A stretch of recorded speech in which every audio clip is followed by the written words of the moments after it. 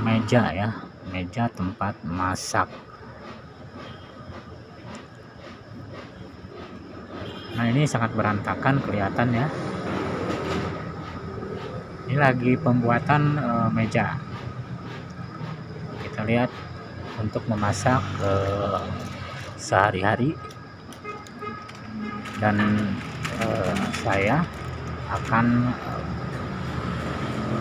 berikan sedikit pengalaman untuk membuat kue balok dengan cepat nih karena ditunggu sama pembeli. Nah ada tiga butir telur kemudian 500 gram tepung terigu 200 gram tepung maicen kemudian satu sendok makan baking powder juga satu tetes eh, vanilla cair. Nah juga ada ini nanti ada minyak sayur sebanyak 400 gram. Juga ada susu murni sebanyak 200 gram. Nah dengan cepat ini kita uh, kita aduk ya menggunakan mixer. Dan cuma 10 menit juga selesai ini.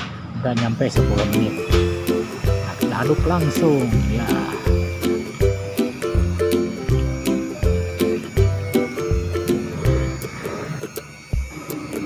diaduk-aduk terus diulek-ulek terus hingga merata ya. Nah sahabat semuanya ini dengan cepat ya untuk membuat kue balok